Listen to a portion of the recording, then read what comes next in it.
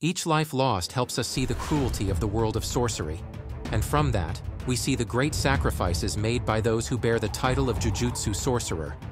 Each Jujutsu Sorcerer who falls means hundreds or thousands of innocent lives protected.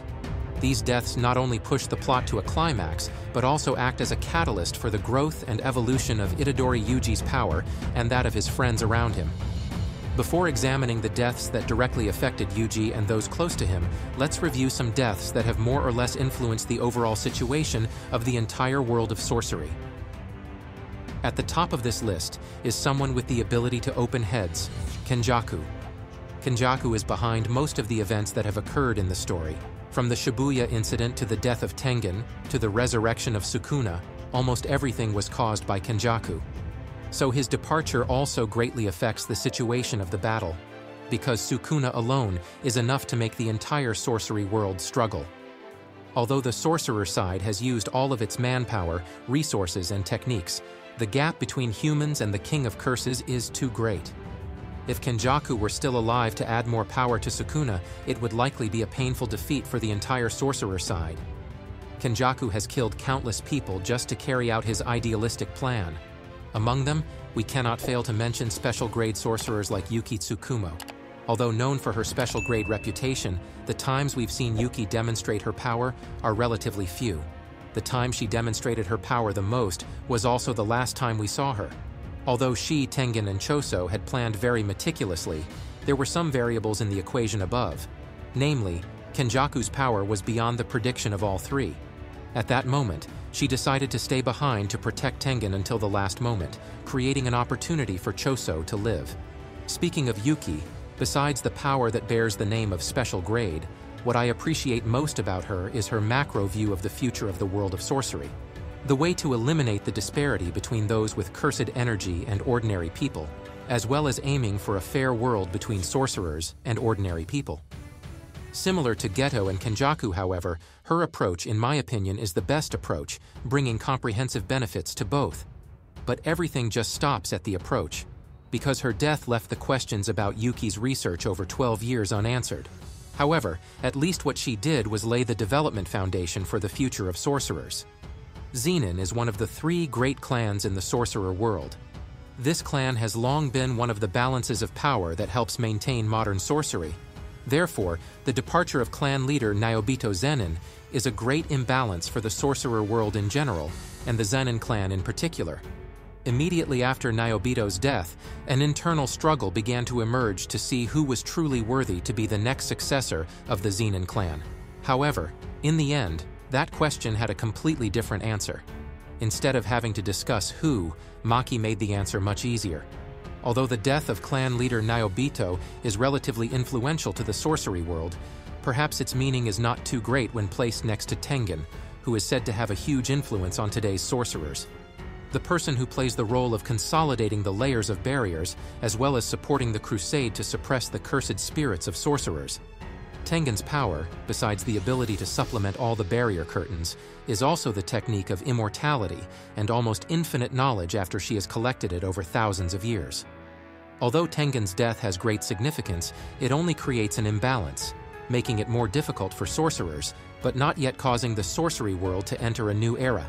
The milestone marking sorcerers falling into difficult times, when all must unite to defeat the strongest, Ryomen Sukuna, begins with Gojo Satoru sending the entire higher-ups to hell. After reviewing the deaths that greatly affected the entire sorcerer system, now let's explore the deaths that directly affected the thoughts, personality, and impacted the power development journey of our main character.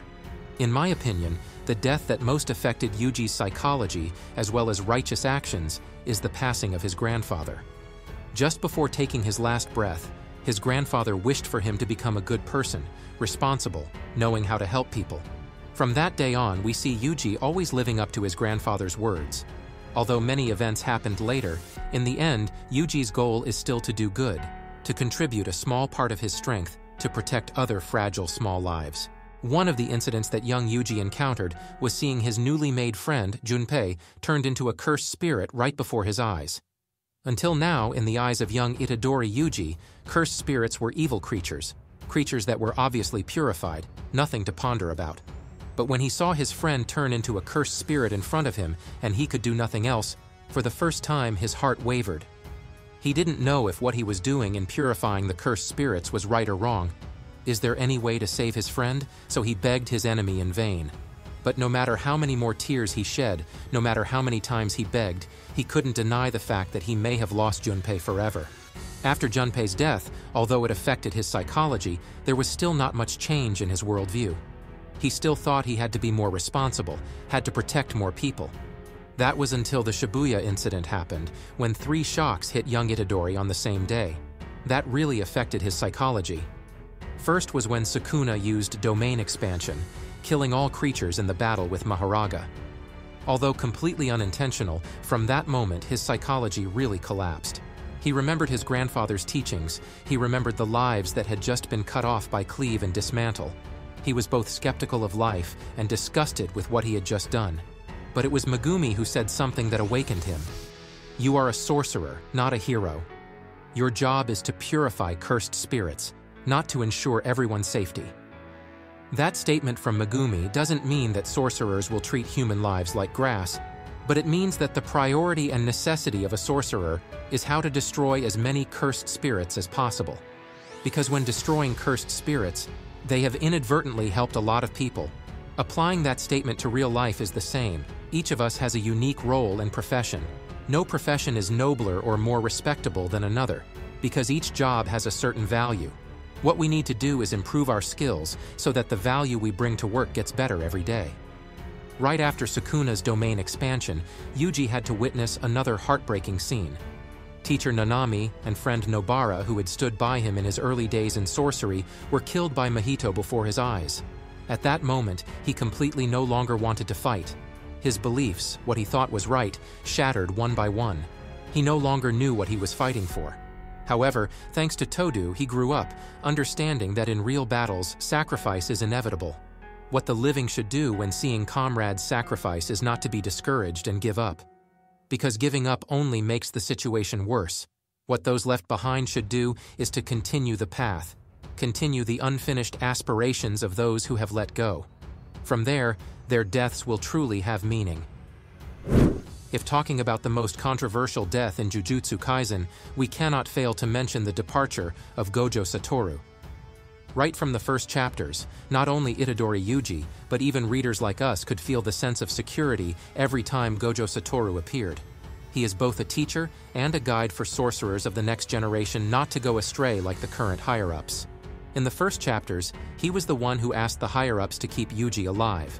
As soon as he learned that the higher-ups had arranged for his students to go on an almost suicidal mission, he decided to deal with all the higher-ups to regain fairness for his students.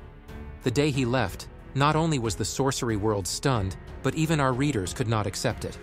We still hoped for some miracle to happen to revive the beloved teacher. However, in the end, that did not happen. Although this is a great loss for the sorcerer world in general, and Itadori Yuji in particular, in my opinion this is a necessary loss. Because Gojo Satoru's shadow is too big, viewers only focus on teacher Gojo, and do not pay much attention to the main character. Itadori Yuji now will not have the opportunity to develop in both power and thinking. Each death that passes is like a step on the journey of psychological development to Yuji's power. The first time he witnessed Junpei's death, he clearly showed an attitude of non-acceptance, disbelief in reality, believing that there would still be some other way. In the Shibuya incident when witnessing three consecutive losses, Yuji is no longer as vague as before. He knows that he has really lost the people he loves.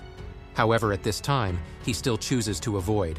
Instead of feeling useless with Todo's encouragement, he has grown up, daring to face the truth directly, but it seems he really doesn't accept it. Along with that is anger for Ryomen Sukuna. Then to the recent death of brother Choso. Although still sad, but he still stands strong, trying to analyze the opponent instead of being weak. Through each chapter of the story, we see the sacrifice of loved ones helping him grow stronger day by day. Although carrying within himself an immense source of power from a young age, however, Gojo Satoru did not have an approachable personality as well as power as now from the beginning. His journey is also similar to Yuji's, also going through many events to grow up from those events, The first deaths that affected teacher Gojo Satoru were Riko being killed by Toji when about to unite the star plasma vessel in Chapter 72, and the death of Grade 2 sorcerer Haibara. What Gojo Satoru hated at this time was partly because he always considered himself the strongest, but in the end could not complete the mission. However, that's not what Gojo hated the most.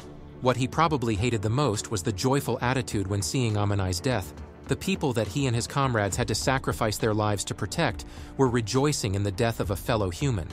They were happy because the dead person wasn't them. Who died was not their business. They didn't care, as long as they were alive was what made them happiest. At that time, Gojo Satoru really wanted to kill everyone there because of the cold-blooded indifference of those who considered themselves higher animals. One of the deaths that affected Gojo Satoru's power was Toji's death. Thanks to a worthy opponent like Toji, Gojo Satoru was able to unlock reverse curse technique. From there, optimize the full potential of Limitless as well as the Six Eyes.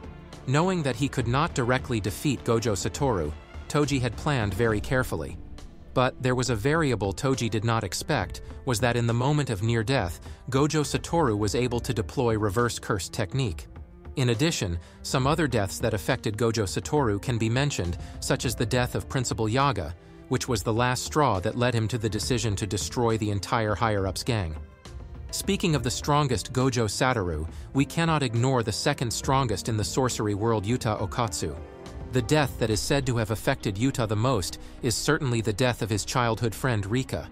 When Rika died, he inadvertently cursed the little girl, causing Rika to become one of the strongest cursed spirits to ever exist. In addition, we cannot forget his own death when confronting Sukuna. Actually, Yuta is not dead yet, but he was injured too much after eating a move from Sukuna. So Yuta used Kenjaku's technique to exchange bodies with Gojo. As for his own physical body, it did not survive after the fatal attack of the King of Curses. Living in the Zenin clan, where only Megumi is valued for the power he possesses rather than being appreciated for who he is. Sister Tsumiki seems to be Megumi's only relative. It is because of this weakness that Sukuna used Megumi's own technique to kill Tsumiki, from there completely collapsing his spirit, making it easier for him to control the body. Although Hajime Kashimo does not play a very important role in the story, his appearance has held back the King of Curses for a moment creating conditions for other sorcerers to find opportunities to attack. In addition, his appearance also helps viewers understand the level of power of sorcerers in the past. Unlike other characters who just appeared in the Shibuya arc, Higuruma plays an important role in the battle with Sukuna. The first obvious benefit is that he takes away one of Sukuna's cursed tools, thereby reducing his power. In addition, Higuruma is also one of the few people who received recognition from the King of Curses, Ryomen Sukuna. After we analyze the above characters, we see that death is often associated with loss, with pain. But what if sometimes death is a liberation, a freedom after being constrained for so long? According to ancient concepts in Jujutsu Kaisen, having twins is seen as an ominous point, especially if that pair of twins is born in a powerful clan, because both either have no cursed energy or have very little cursed energy in them. Two innocent children originally did not know they had done anything wrong, but why does everyone scold them? Everyone blames them, everyone despises them. Is their birth a wrong thing? It wasn't until later that we knew Maki and Mai always restrained each other. If one survives, then the other cannot fully exert all their power. Because both are two but actually one, this case, if compared to real life, is also relatively similar to the phenomenon of identical twins. Originally, there was only one embryo, but then the embryo splits into two embryos and develops into two different people. However, contrary to real life when this embryo splitting phenomenon does not affect the fetus too much. In Jujutsu Kaisen, as long as both are alive, no one can fully exert their power. Only when one person dies does the other have the opportunity to be themselves. After the death of her poor little sister, Maki proceeded to massacre the entire Zenin clan. The first person she killed was Ogi Zenin, who had denied her two sisters, seeing her two sisters as the reason he couldn't sit in the position of clan leader. After that, each sword was wielded against all the members of the Zenin clan at that time, with every slash carrying the resentment and oppression that the two sisters had endured for many years. Each blow that fell on people in the clan was like cutting off the chains, the prejudices about the lives of her two sisters. Now she is completely free, she gets to be herself. In the world of Jujutsu Kaisen, the sacrifices of those who came before are valuable lessons, shaping the living ideals for the next generation. Each death is a legacy, a torch lighting the way for those left behind. What about you, fans of Jujutsu Kaisen? What are your feelings about the sacrifices in this anime? Share your thoughts in the comments section. Each of your contributions is extremely valuable to Ackerman Recap. Now, if you find it interesting, remember to leave one like and one share to support us. Thank you for watching the video. See you in the next videos. See ya.